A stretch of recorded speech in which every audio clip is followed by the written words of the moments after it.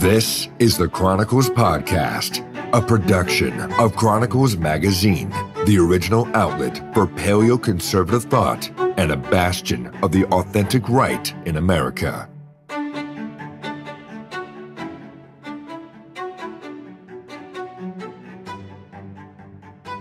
Well, welcome to another episode of Chronicles Magazine podcast. I'm here today with the Prudentialist, and we're happy to talk about um, a figure that's sort of lesser known but important in in regards to the paleoconservative movement and where it's been over the last several decades. So, thanks for joining me. Oh, thank you for having me on. Always a pleasure. So, who's the thinker that we're talking about today? Uh, we are talking about the late and great Joseph Sobran. So uh, people don't really. Uh, I don't think a lot of people appreciate him or ha- are familiar with him. He's got a couple collections of essays on Amazon, um, but he was he was important for a while, and he's probably one of the best prose writers that I've come across. Um, you know, within the, within the American 20th century scene. So let's let's start first with a little bit of your own background before we get to Joe Sobran. Um, you're you call yourself the Prudentialist. What does that mean? Uh, sure. So I feel like the story behind the name is always way less uh, entertaining than what it actually is. So um, uh, I created the name out of sort of a, a, a love for a, a, colleague of mine who's called the Distributist, but I'm not a Roman Catholic, so I thought why not come up with a different name. Um, and at the time, you know, prudence of forethought, the prudence of planning of our forefathers. My original profile picture was Edmund Burke because I thought the most interesting line he had ever written in you know reflections on the revolutions of France was criticizing the ability to change the laws and rights of others, of those who have gone before you, but those who have not yet been born. And so his concept of inherited rights has always stuck with me. So uh, th- that's how I started. And now I, I do more advocate for more sort of traditional lens within things, both within the context of Christianity, but also uh, that's why I find myself really identifying, I guess, mainly with the paleo conservative camp, because as we'll talk about with Joe Sobran later on in this discussion, is that a lot of the things that Sobran discussed, you know, it's we we keep rehashing them, and I feel like a lot of people need to realize that his writing, his work, his talks are very valuable because you know he kind of already tread that ground before. Right. So you mentioned inherited rights, and that's I think one of the things that really separates out the paleoconservative demeanor, you know, that paleoconservative mindset is the fact that they don't see they see history as um, being the provider, the development of history being sort of the provider um, for our way of life and looking to history and our own people, our own heritage and culture comes out of something very specific in particular uh, to who we are. And I think that is one of the one of the losses that we've had over the last several decades has just been this emphasis on universalism. And that's come across with liberalism and it's also come across with neoconservatism with this which is a type of liberalism. And joe sobran was really representative of the type of personality that would fight against that universalizing mentality. So um, how did you find joe sobran and what made you want to read him specifically? Have you read anything else before the essay that we're going to talk or the the novella that we're going to be talking about uh, well, no, I, I started like many people, I guess, who are under 30. I started just going through various talks and whatnot uh, that I could find online. And thankfully, he's been prolific in conferences and talks like that. So most of his C SPAN appearances, I've seen, um, you know, his focus on, you know, uh, media and academia accuracy accuracy in academia was one of the projects he was a big part of so i've seen most of those discussions. Um, his writing not so much although i have ordered some of them and i know that there are some of his essays that are online which i, I plan to dig into more. But listening to him talk and retread a lot of the things that i see today on twitter substack and sort of the right-wing scene overall makes me realize that there is sort of a goldfish memory on the right in some instances. Maybe this just comes with the cycle of new blood coming in, which myself is definitely included in that list. And I can't help but think to myself, you know, there's a lot of these questions that we keep asking ourselves very existentially.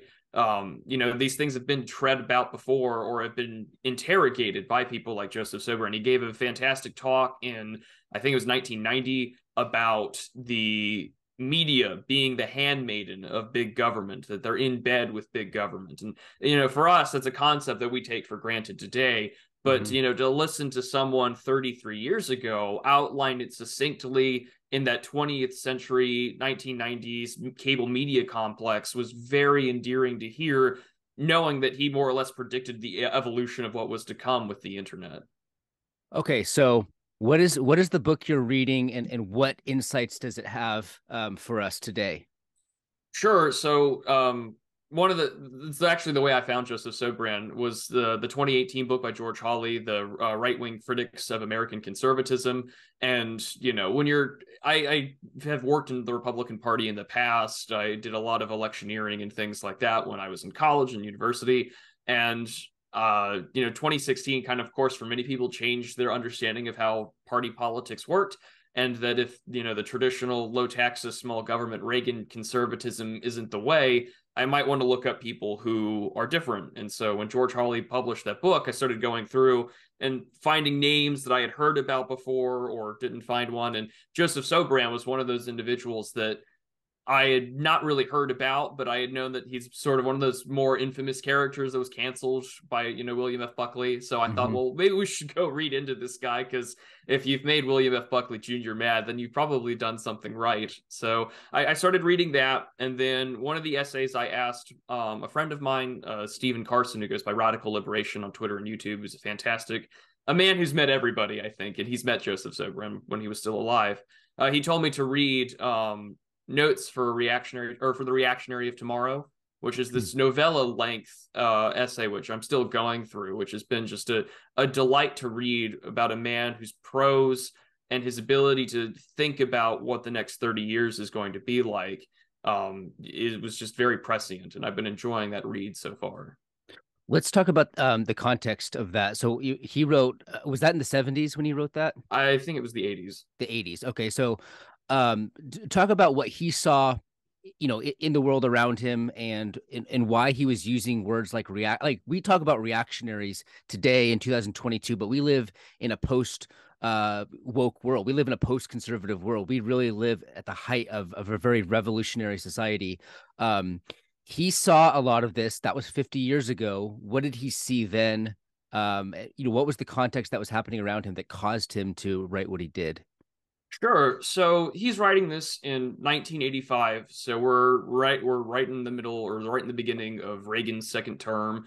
We're sort of beginning to see where the Reagan revolution is going, but he's also highlighting sort of the last 40 years of the American 20th century and what has emerged from eh, very similarly to that old right tradition about what came in the night of revolution and then what came in broad daylight in the civil rights revolution and that laws and the rules of society have always been made by the strong. They're exploitative for the weak, but the weak are to be protected. Uh, and he's sort of highlighting this very understood concept of how the American government was to work. And he highlights it in this essay and his other talks in the 1980s and 90s that, you know, the American founding fathers of today would think that they wandered into Canada if they had came into the country nowadays. And so he's sort of highlighting that the democratic process that the country once had you know you're inheriting something completely different. You're inheriting something that's under the guise of colorblind affirmative action federal civil rights law uh, which has neutered the neutral character of the law and that for tomorrow you're going to have to recognize these things into the 2000s and beyond. Mm-hmm. and you know politically did he was he was he optimistic or did you do you think he was more of a, a pessimist or did he really not get into that so far, I, I think that he's highlighting some of the natural instances of where order comes from. I mean, uh, one of uh, one of the phrases that definitely stuck out to me was uh, "civility is natural, even in a band of gypsies who live by theft and fraud need to have some rules for conduct among themselves." Mm-hmm. Um, but in the West, civility has been developed as a principle for cultural reasons. Christianity made it a basic distinction, uh, and I think that as I keep reading through here, and as I've been taking notes, I, I plan to have a, an essay on it on Substack shortly because it's something that I think people need to read has been highlighting these natural tendencies that seem to get lost by the wayside in legalism, legal speak, and bureaucracy of our government, where if you can hold true to the natural mm-hmm. instances of civility, culture, and religion, you have a chance to see your way out through the worst. And he was very predictive, both in this essay and his numerous discussions um, that you can find online. I highly recommend that people look him up um, he he's very adamant that things are going to get worse, but there are ways and means in which it can be recovered. One of the things about Joe Sobran, I think, is that he, uh, and, and, this is true of all the paleo conservatives, is is they're very cynical about the prospects of um, converting the masses, using the masses um, to like because th- that's the rhetoric we hear all the time. Like we need to fight the regime, we need to mobilize, the masses need to wake up, and but that's uh, Joe Sobran and others like him recognize that that's not the way that political society functions. Um, that masses uh, are malleable by those who are in power. Um, and so he he really had an aristocratic mindset and and recognized the fact that elite minorities are are the, the, change agents within society. To talk a little bit about that, like some of his hesitancy toward like mass politics and mass democracy as a prospect for for hope.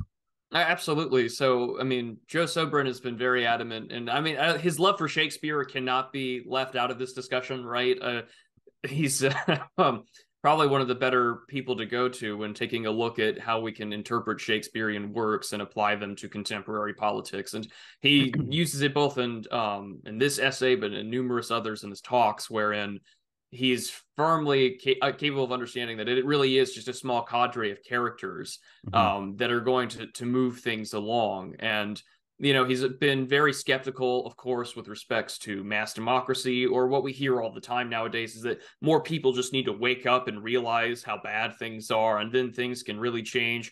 Whereas, you know, Joe Sobran is very adamant about the fact that really, you know, for a political career, if you actually wants to institute change, like when you start doing mass politics or what what gets called social democracy you get into this uh, form of you know alienistic expressionism where we're looking at the world in a way that is not natural. It is usually very small groups of men and an elite that moves things. And so when we like try and look at the world through this lens of mass democracy or this large amounts of popularity um you know the only way that you can get that to happen is usually by taking advantage of technological process and enslaving mass minds. And so, I mean, you're seeing references to to Orwell and Tom Bethell. I mean, writers that kind of fundamentally understood how that ratchet moves. And Sobran's able to weave that and recognize that if you want to have mass politics and mass democracy, things are going to go to heck in a handbasket very quickly. He has the word reactionary in the title there. Um, does he is he explicit about why he chose that word? Is he is he trying to distinguish between, you know, a reactionary politics and a conservative politics? Is that part of his argument? Uh a little bit. I mean, uh, we we we start looking. He, he, does get into the word liberalism quite a bit, and I mean, actually, when we look at the entirety of the text, reactionary comes up three times, okay. uh, twice inside the essay, the first one in the title. And so, you know, the first time that we hear the word reactionary in this essay um, is when we're looking at the concept of liberalism. Um, and he's very quick to point out very similarly to how a lot of Polish conservatives will call out communism, is, is that liberalism may be faintly embarrassed by certain twists in such communist policies, but it is essentially at home with the whole idea of population policy or populism. Um, whereas, you know, if you look at, say, The Demon in Democracy by Ryszard Legutko, and I think that was published in 2018, he's highlighting that, well, a lot of post you know communists that were part of the communist party they just became social democrats because liberalism has a lot of similar goals as to the communism uh, or as communism does mm-hmm. and so you know uh, he points out that liberalism as a political system a political philosophy a political science uh, will take active measures quote uh, to prevent reactionary views from being heard behind every double standard lurks an unacknowledged single standard promoting socialism so, really, for him, his idea of a reactionary is one who stands as a vanguard against socialism, social democracy, sort of totalitarian control of a system. I mean, this is written in 1985, so you've got that Cold Warrior instance with it. But I mean, today's you know red square marches and things like that you can see that every june and for pride parades and the mm-hmm. marching into progress for mass populist control over all sorts of things through social engineering we see this all the time with the tavistock institute i mean these things are prominent and prevalent because it is a way to keep people in these basic assumption groups for what is acceptable. And if you step outside that basic assumption group, as Joe Sobran did, or many sort of paleo conservative or quote unquote reactionaries today do, um, you find yourself being thrust against the uh, the wall, not by communists or socialists, but by people that would describe themselves as liberals. Right. So he, I mean, he really had on his mind. I mean, communism was at the forefront of the political theater at that time. Um, but he, do you think he had an element of the liberal threat? You know, the establishment liberal threat. Um, do, is that any part of his essay? Um, oh yeah, okay. absolutely. He spends quite a big, a large section on the issue of religion. So of course, Joe Sobran is uh, probably one of the better Catholic writers that you can find um, into you know in, in, the 20th century on this issue.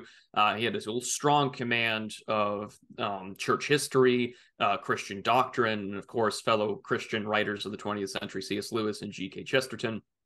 And he talks about how liberalism will try and avoid directly assaulting religion. You sort of get that secularist differentiation between church and state but you know believers are viewed by both the socialist and the liberal as reactionary because mm-hmm. they're not adhering to sort of the secular in the world kind of mindset. And that especially you know is a part of christianity to be in the world but not of the world. And he recognizes that to follow and to be a true adherent to that um, you are going to be attacked by both what we would call socialist communists but also by the liberal system even if not directly but indirectly it will work through other means Okay, so do you think he saw religion as as a fundamental in terms of, you know, fighting for our heritage? Like for him, you he couldn't conceive of any reactionary or uh, you know meaningful traditional politics without the religious aspects to it. Is that true? Yeah, I mean, you you'll see it in this essay too. Or I mean, even though he's, I mean, he's quoting Lewis, who's an Anglican, but I mean, you know, some people might say they like may dislike Milton's God when they really mean they dislike God. And mm-hmm. for in this essay, but also in numerous other talks that you know christianity especially for the united states you know uh, even though he's a roman catholic i mean it's a fundamental part of the american culture and the american heritage and that no real authentic reactionary movement uh, one that stands against the tide of socialism or liberalism for that matter you you need religion. It, it's absolutely essential. And i think that even today right when we see people rail against the woke i mean most famously you know the everyone's favorite quote unquote like lolcow, right, would be James Lindsay. And of course, where does he get his start? I mean, most of his early academic work is on the issue of atheism, still is a devout atheist, and has the gall to criticize Christian doctrine. And he wonders why, at the end of the day, he'll side with liberalism over anything else that recognizes what the actual structural problems are, which is a failure of liberalism to contain the worst instances of itself. Mm-hmm let's let's connect Joe Sobran and you know some of your interests. Um, you know, I, I, having a prudential politics is part and parcel of um, you know that paleo conservative mindset, and Joe Sobran really embodies that. So, so talk a little bit about like, can you connect some of the themes in Joe Sobran with like sort of the anti-universalist trends uh, in the modern conservative movement? Absolutely, and I think probably the best way to to frame that, and especially when we before we started recording, was that you know I, I, found him in 2018 i found him just a few years ago and i just started listening to a lot of his talks started reading some of his essays i bought some of his collections. And to me it was this side of bit of humility this bit of being humbled. And i think that there's not a lot of that in today's political scene in part because the media landscape is completely different. I mean i think you and i could probably agree that if we got 50 you know right wingers in a room paleocons all sorts of different types of old right new right individuals that you're going to get a hundred different opinions on maybe one policy position that we want to put forward and whatever kind of government that we want to run. And even then that would lead to a hundred other discussions about what kind of government we're going to have right? This is the same sort of stuff that Murray Rothbard talked about in a strategy for the right in um, 19 in the 1990s, very shortly before his death. And I I read this essay and I'm I'm reading it. I'm taking my notes. I'm referencing all of the the writers that he's referencing, and I realize that there's this very short term short term memory in this sort of media state that we live in. We um, almost like we're in Debord's society of spectacle, but in this instance, everyone is in the society of the hot takes and political commentary, and so there's this lack of foundation inside of our our intellectual canon. And I think that Joe Sobran, for me, you know he's he's got it you know he, he understands his writers he understands the english western canon he understands american political history but he also has a firm understanding of what is happening and what is to happen and i think that a lot of people uh, especially for people like my age I'm, I'm i'm 27 going on 28 to me it's really important that we don't lose sight of these, you know, more contemporary writers. Because a lot of people will tell you, you know, read older books, read textbooks before 1950, read history before 1950. Um, but I, I think that we do ourselves a great disservice because that ignores, of course, the last 60, 70 years where we've really gone off the rails in this country. And, you know, Joseph Sobran, like many of his contemporaries, of course, like Dr. Paul Gottfried um, and numerous others, right? They are essential for our understanding how did we get here?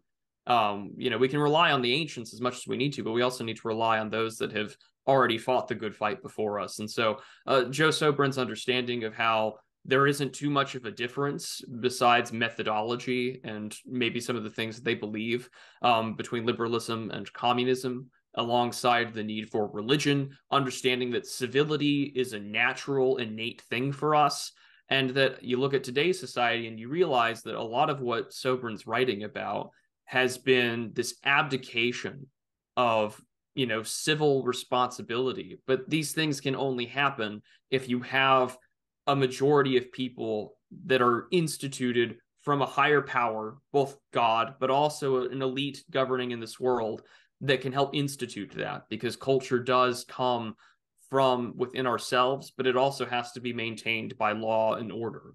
And that always raises the question what order? And Joe Sobran is the guy to go to to find out what that order really means and how that can be upheld and where that can be found um I, I agree with you and I, I i like what you picked out of Sobran and i think he has a lot to say. Like one of the one of the things that really separates um you know Sobran style paleo conservatism with uh, just everything that's gone under the banner of conservative um, as a movement over the last uh, dec- several decades has been um the the the um the applicability of these uh these particularist versus universalist themes on the on the issue of foreign policy. And um you know this is this is one of the things that I think that the conservatives, younger conservatives and right wingers had to rediscover was restraint in foreign policy. Um, it's just part and parcel of, of protecting who we are and our heritage. And I think um, just mindless wars, mindless militarism overseas that characterized, uh, you know, the even you know the Bush, the entire Bush uh, decade uh, has really done a great disservice to this country and our, our natural and cultural cohesion. So, so talk a little bit about because I know foreign policy is something that is interesting yeah. to you. So, just talk about some of the themes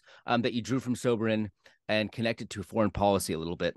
Oh, absolutely. I mean, uh, Sobran's call for cultural and political restraint, realizing that once you let, you know, the sort of genie out of the bottle, you unleash the sort of liberal Pandora's box wherein uh, we sort of tried to divorce ourselves from Christianity, law, and the traditions which build the country. And it, again, it echoes this very old right, you know, Albert Jay Nock, Garet Garrett style of America should probably not be entertaining this notion of getting engaged with the new world. And I mean, you know, you can Sobran and the People's Pottage, I think, are are very good uh, two things that people should be reading together, especially when you read like Ex America, Rise of Empire, and then you start reading Joseph Sobran, you can see that there is this influence that is inside Sobran. And you know, if Sobran were alive today, I think he probably would have loved uh, Barry Posen's book in 2018 called Restraint, uh, a case for a new American grand strategy. And so a book which I've reviewed on my YouTube channel and elsewhere, which is uh, highly recommended for anyone who wants to understand foreign policy because, you know, for a lot of people today, we are sort of in this post 9-11 world wherein the you know the bush administration which only got compounded by obama's you know troop surge the drone strikes the pivot towards asia we've really witnessed a fundamental transformation of what the american tradition of foreign policy was and that tradition was to escape the old world and to not be involved.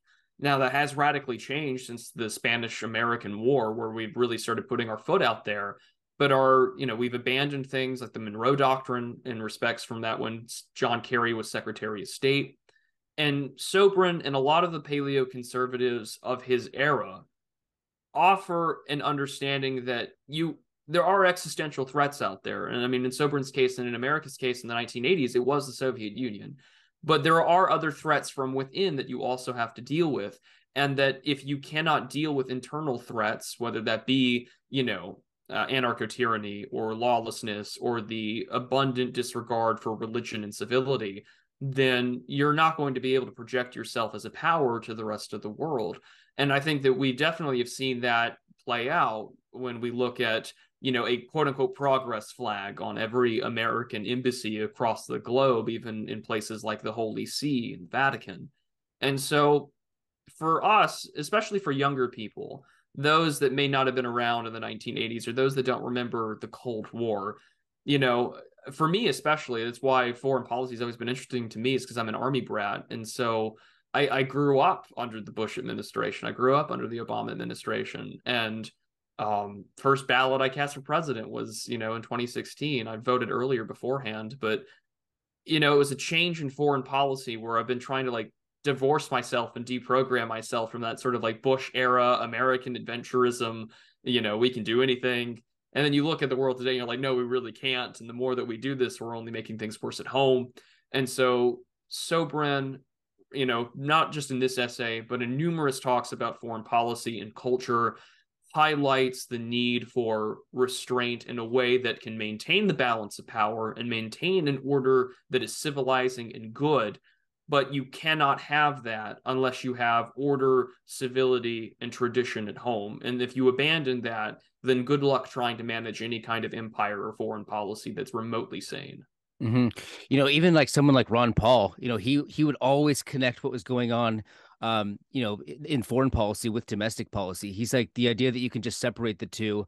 Um, it, you know, it, it's a massive, um, you know, misunderstanding of things. And so, like conservatives at home would just always emphasize like you know some of the domestic themes about you know values and all that stuff but then they would go and become reckless overseas without even realizing that the two needed each other you know you needed a um, you know a, a, foreign policy of restraint in order to restrain um, you know what was going on on the on the home front too, and that's one of the things that um, you know libertarians, uh, at least the older style libertarians, have been good on, and the paleo conservatives also.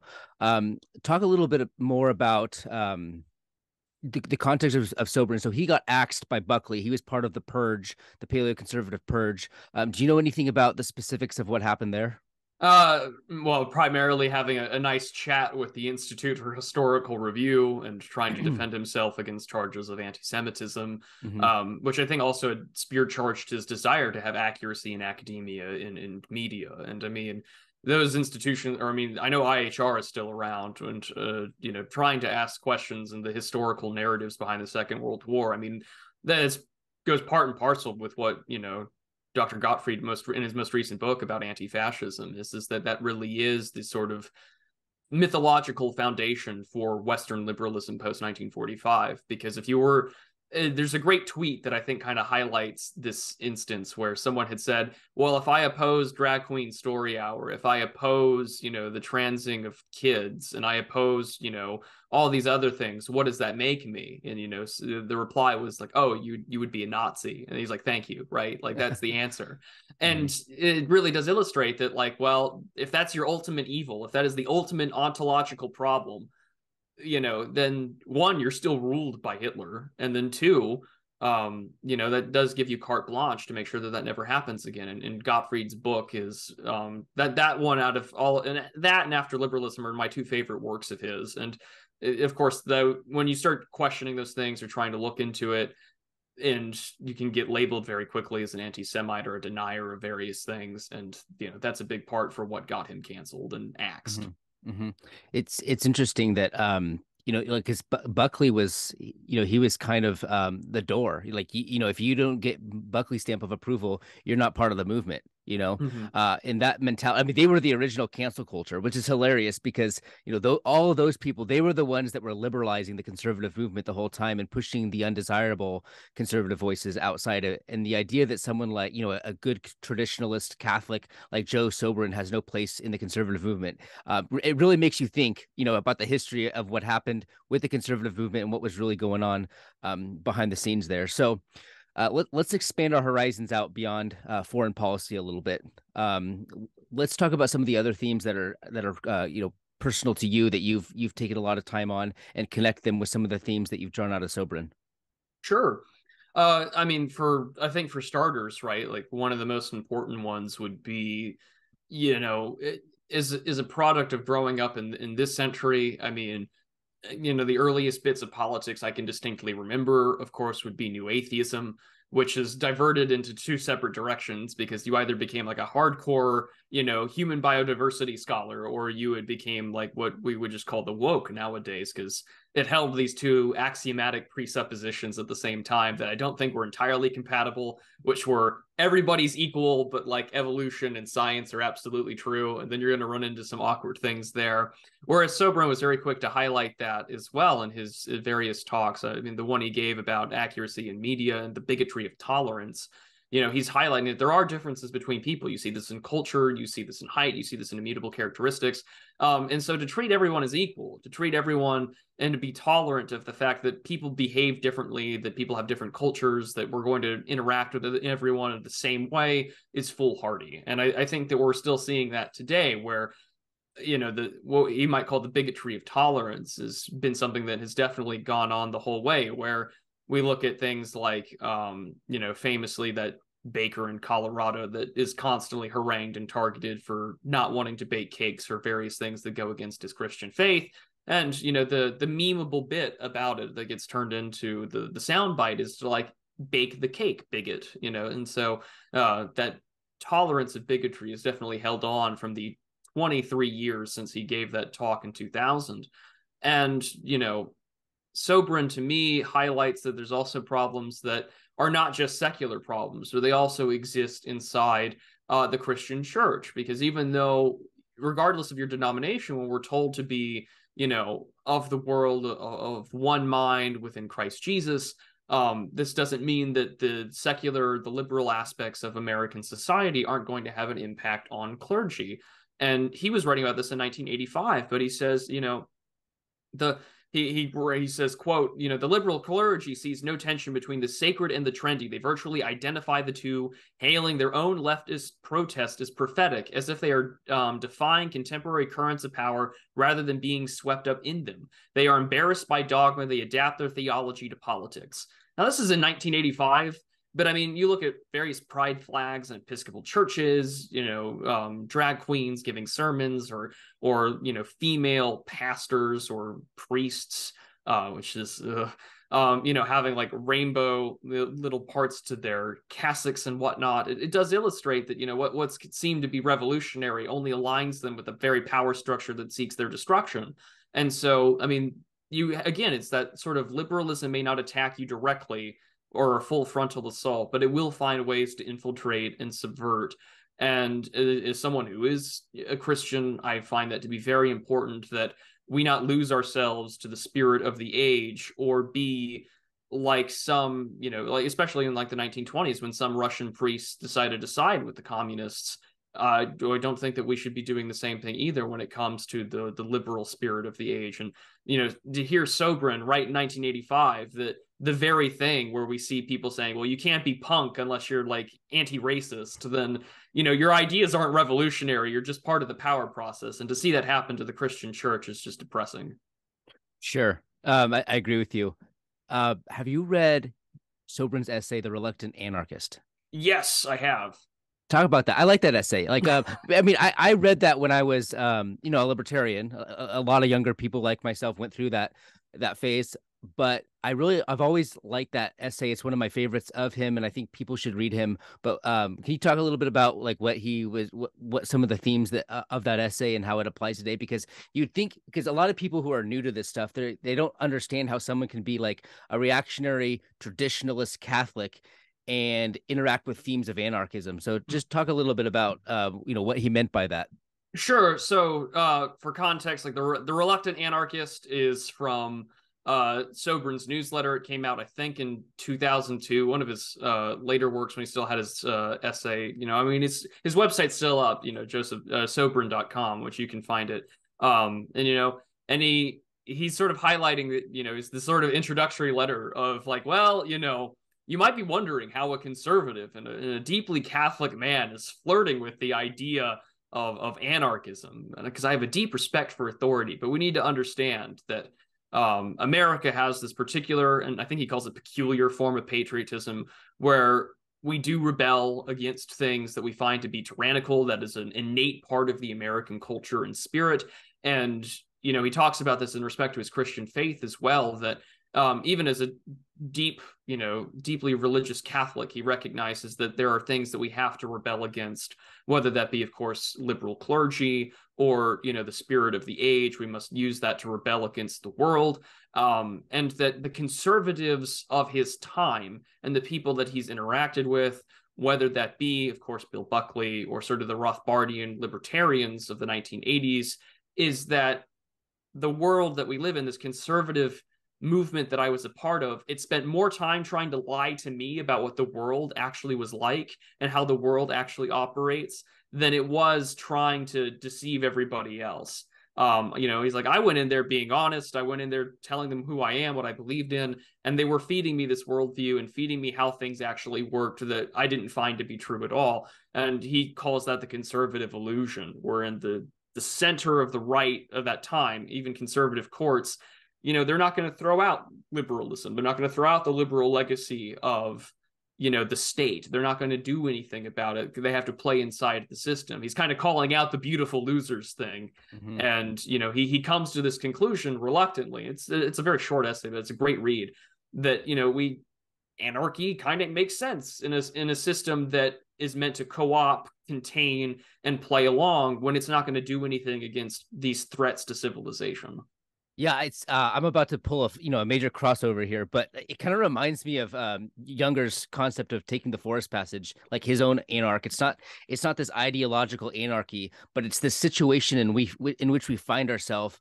under the like the totalitarianism of the administrative state and we have to we can't commit ourselves we shouldn't commit ourselves and our souls the deepest aspects of our of who we are to either party like as if as if they were two contesting political factions right we shouldn't uh, commit ourselves in an ideological way to any political regime because what's happening in the world um, is so total and it's so hegemonic that one has to have like sort of a, a mentality of an anarch or um, you know, which is what what uh what Junger called them, the you know, the anarch. He's not an ideological anarchist, but he is someone who puts his head down and he does recognize that he is not committed to to anything or anyone, you know, except for taking this uh this sort of this forest passage. And I kind of see um a similar, you know, analogy here with with what Sobran's trying to get across.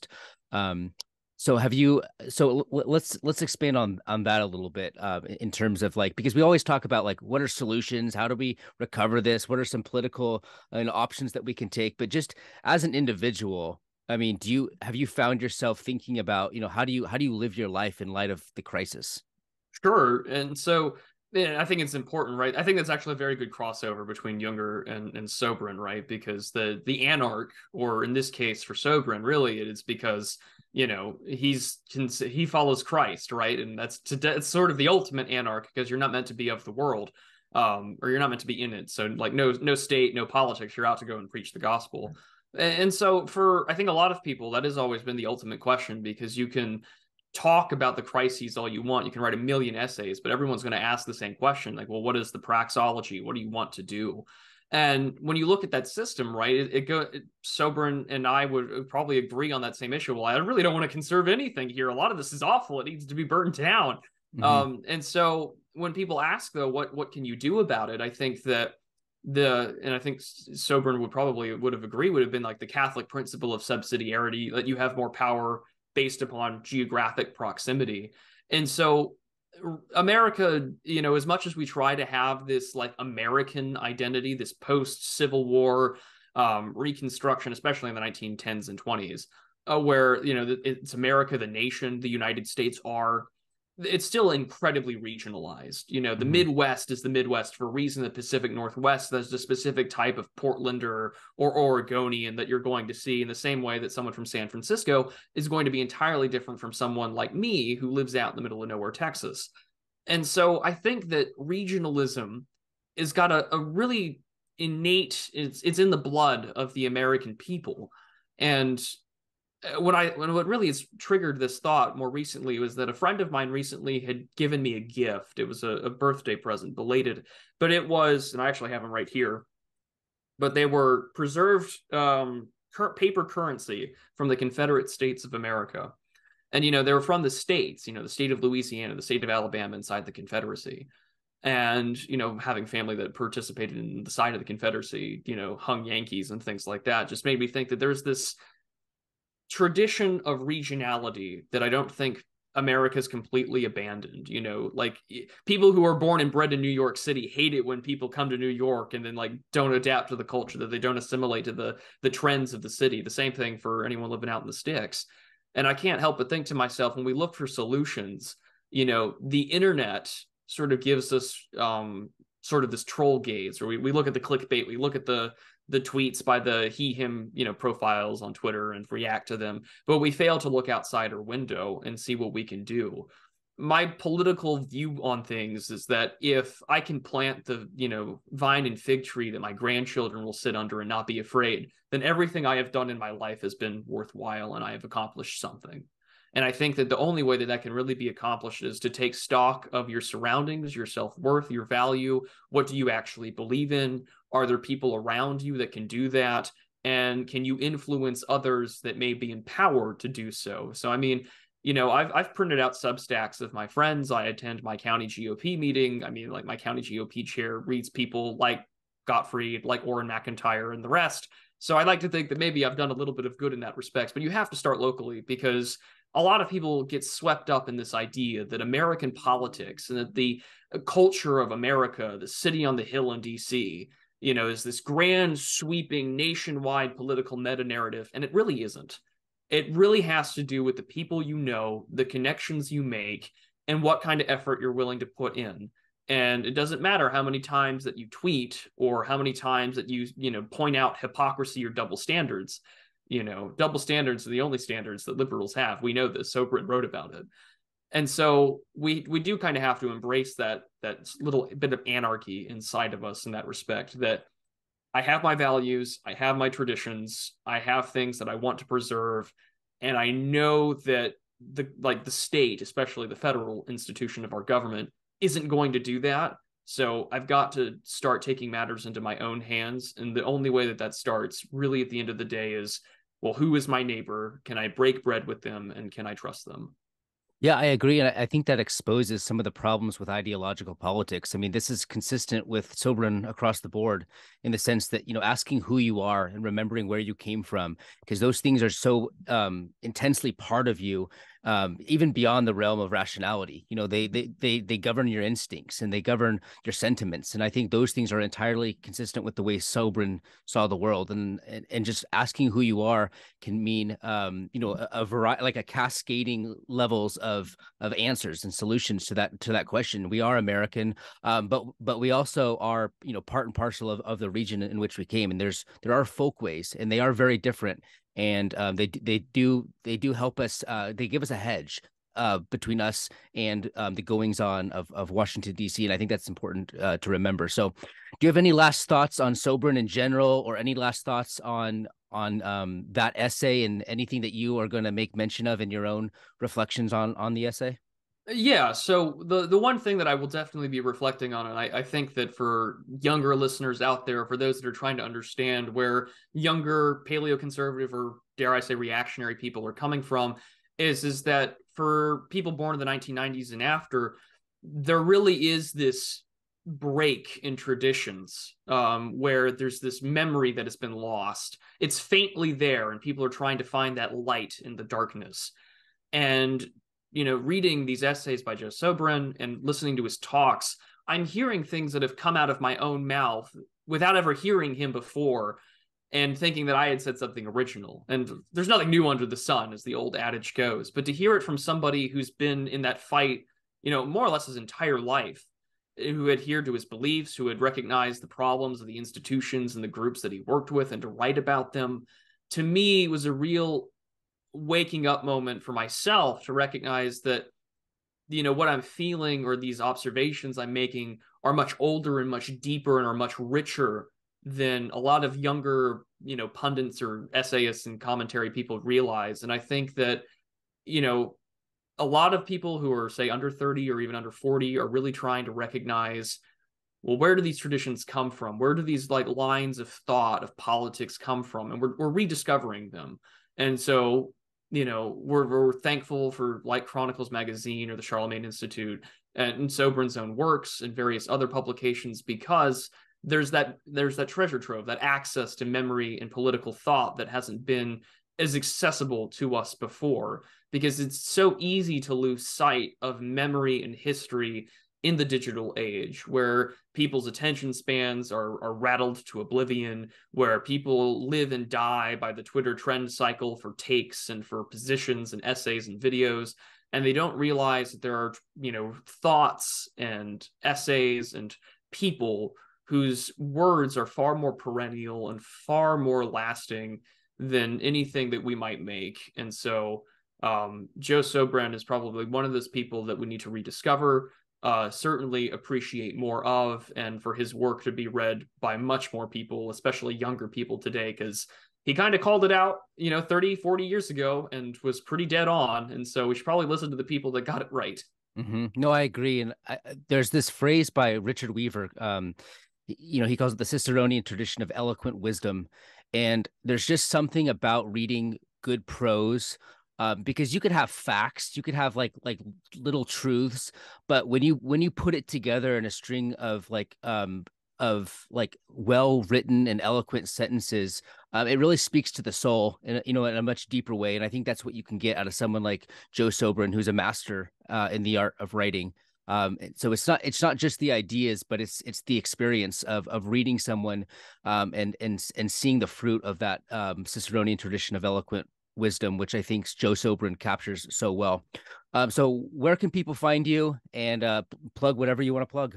Sure. So um, again, I'm the Prudentialist. I also go by Matthew online.